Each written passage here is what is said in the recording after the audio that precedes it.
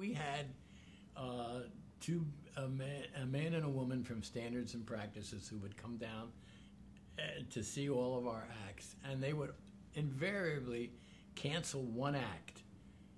I had no reason. I, I never understood why, but they would cancel one, and uh, it was. I couldn't see anything wrong with airing it, you know.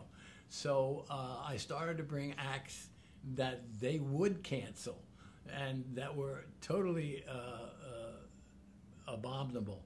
And these the two would come down and say, "You can't have that act on television."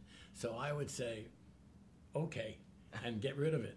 And and I brought one act down, the Popsicle Twins, and and uh, I don't know where they the censors were. They may have stepped out and had a, a cigarette.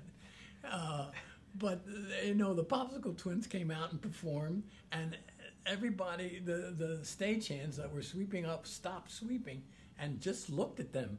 They they, they couldn't believe their eyes. Well, explain what the Popsicle well, Twins Well, the was. Popsicle Twins were two teenagers, uh, seventeen and and- Girls.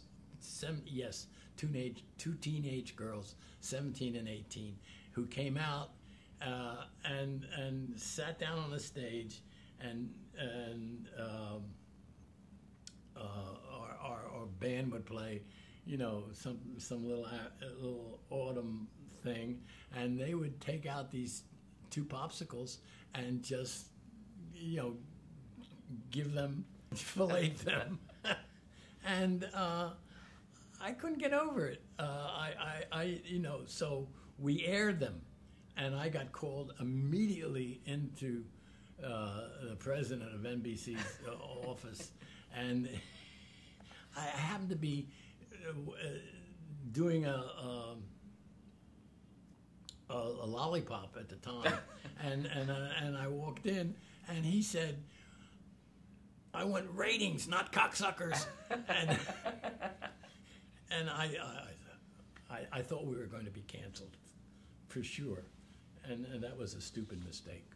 Well, we, we had an act called uh, Scarlet and, and Red, Scarlet and Red, uh, which was a, a, a wardrobe person and a makeup person who came out together and and and and, and did things like uh, Hickory Dickory Dock, the mouse ran up the clock.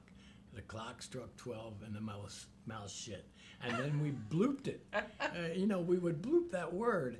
And um and uh, so uh, eventually they their act became more and more uh, uh, uh,